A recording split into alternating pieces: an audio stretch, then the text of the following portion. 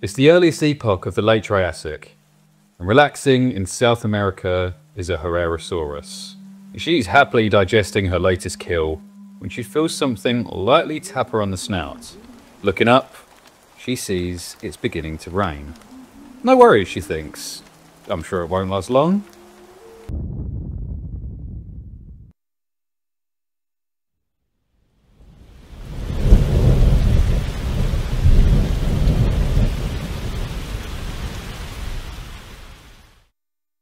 The Triassic was an important time for most of life on Earth. It marks the start of the age of reptiles, as well as two groups that would dominate the land across various periods to come dinosaurs and mammals.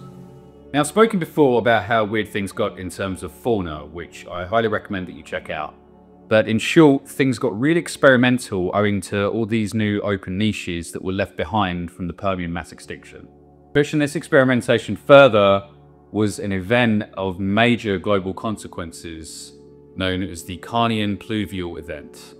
This is the time that you're going to hear more commonly referred to by the title of this video, because it really did rain for 2 million years. Planet Earth during this time was extraordinarily different to today, with all of the global land masses being conjoined into the single supercontinent Pangaea. And when this happens, any water in the air can only go so far inland before it dissipates and falls down, meaning that the only lush green environments were around Pangaea's perimeter, and the majority of land on Earth was very dry and arid. Despite how much terrestrial vertebrates varied in terms of strangeness and size, the one thing they had in common was the fact that they were all fairly low animals, owing to the fact that plant life couldn't really grow tall, and the predators didn't need to be particularly tall to prey on those low browsing herbivores. But around 234 million years ago, we see the temperature increase even more globally, and with that an increase in the amount of estuary, lake lacustrine and flood deposits across the entire continent, not just the outskirts. Now these deposits appear to have been laid down across roughly 2 million years. And the only thing that can cause such a widespread increase in aquatic deposits is one serious rainy spell. It's estimated that average global annual rainfall was around the same as today's most humid rainforests, which is a lot. Potentially up to nearly 400 inches of rain each year. Now, of course, this doesn't necessarily mean that there was a constant downpour 24 7 no matter where you went, but it does mean that the driest spell you could hope for would still bring the odd drop out of the sky. Now, even for a British person, 2 million years of rainfall is noteworthy. So what caused this? Well, remember that the global temperatures increased? Well, this increase in temperature will mean that water from the ocean will evaporate into the atmosphere at a much higher rate.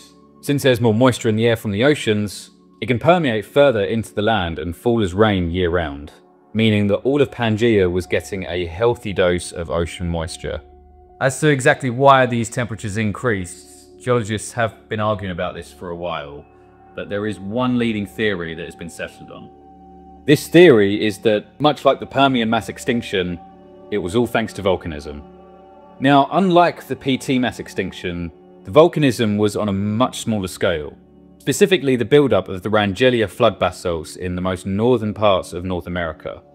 This event put out enough lava to cover the entirety of the coast of Alaska and Canada, creating lava that was 6 kilometers thick in some places, and injecting enough CO2 within a short space of time to increase the temperature of the world. Again, this wasn't quite to the extent of the PT Siberian traps, or even the increase seen today, but it was enough to push temperatures up enough that a huge load of ocean water evaporated and precipitated across this vast amount of time and space. What likely didn't also help was the uplift of the Cimmerian orogeny. This was a mountain building event that is thought to have created a strong differential between the north and south, creating further monsoons across the heart of the land. There is one more potential aspect that may have exacerbated things, which is the orbital parts of the Milankovitch cycles. Now, if you would like for me to explore these Milankovitch cycles in further detail, please let me know down below. So, how do you tell that it once rained on a rock billions of years ago? Well, on a small enough scale, you can't. But on a big enough scale, we do see quite a few things. We see flood deposits for a start across the entire globe which show a close enough proximity to either river or lake deposits. which wouldn't have overflowed this often without a very regular input of rain. On top of this, we also see a short-term excursion of oxygen isotopes, in which the temperature is hot enough that the heavier isotopes of oxygen are lifted and deposited into the poles where things can finally be cold enough for them to sink back down. Okay, so what? It rained for a while. Who cares? Well, it's a slight misconception that the next faunal turnover took place solely due to the PT mass extinction. And whilst that is true to some extent, it doesn't quite paint the whole picture. In actuality, it's this pluvial event that served as the final push for the new kids on the block to take over. Now remember what I said about most terrestrial animals being very low to the ground? Well, those guys were about to get a very nasty shock. Given the much higher rainfall, the organisms to see the immediate benefits were obviously the plants. Rather than sticking low to the ground to absorb what little moisture they could find, they could now grow back up to the tall and lush level that they hit during the Carboniferous. As the flora grew in both height and abundance, fauna began a changeover as a direct response to this. Since the plants could now grow tall and woody to avoid those pesky low browsers, Animals such as Lystrosaurus that had dominated for so long were now seeing their food source dwindle, especially since these taller plants blocked out the sunlight for the lower plants. Instead, a new group, which we would later name dinosaurs, utilised their features of pillar-like legs to grow much taller, meaning that no one else was competing for the new food source. Now I am going to do a video on sauropod importance soon enough, but it would appear that it is these guys that pushed other dinosaurs to grow both in size and diversity. So rain isn't just something that ruins barbecues for us Brits. Turns out it also gave us the most iconic group of prehistoric creatures.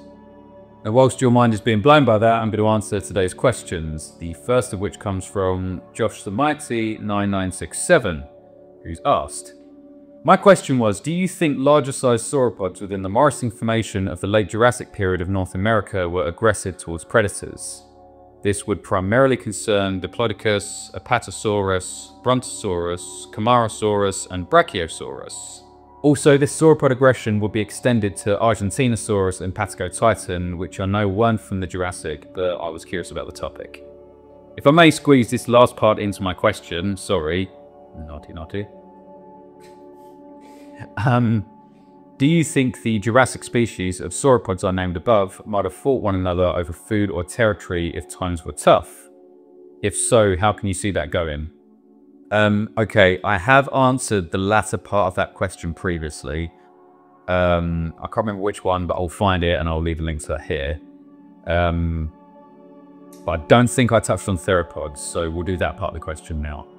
not gonna lie, you sound like someone who is just begging for a remake of Jurassic Fight Club. Except, you know, good. The Morrison Formation is pretty famous for its sauropod turnover, but the Predator Guild is one that hasn't seen as much change of the guard. So how aggressive sauropods were really just depends on which one we're talking about and what were the capabilities of the largest theropods from here, namely Allosaurus and Ceratosaurus. If Allosaurus used group efforts for hunting or even partook in flesh grazing from sauropods as has been theorized, then even the largest sauropods would be wary of these guys, so absolutely would display aggressive behaviour towards them if seen. This would have been purely for self-preservation rather than protecting their young, however, since we know that sauropods were in no way caregiving parents. Camarasaurus especially would likely have been pretty hostile towards these guys as the smallest of the list when fully grown. But I do think that the bigger they got, the less heed they would have paid, since the predators likely didn't try their luck all that often on fully grown and healthy adults.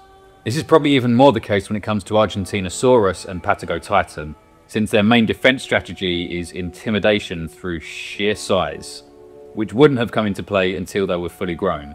Before that, sauropods didn't really have anything as juveniles to be threatening with, so avoidance rather than aggression would have been the best policy. Look, I know we can all get like with a shoe when we see a spider in the house, but most other animals are really not that bothered by animals that are so much smaller than them. Especially when they don't really have any young that they care enough about to protect. Uh, our next question comes from R400S81? S8I? I'm going to have to change the font so I can tell the difference. Um, anyway, um, who has asked, I'd like to hear more about Holocene megafauna. Why isn't almost any of it left apart from the African continent and some examples in Asia? I know it was due to human hunting and habitat loss, but how did this all happen so quickly? I know about species like the Steller sea cow and the moa, but if you look up some animals, you realise that there were lots and lots more, and now we barely see any big wild fauna. So how did the ecosystem adapt to the disappearance of these animals?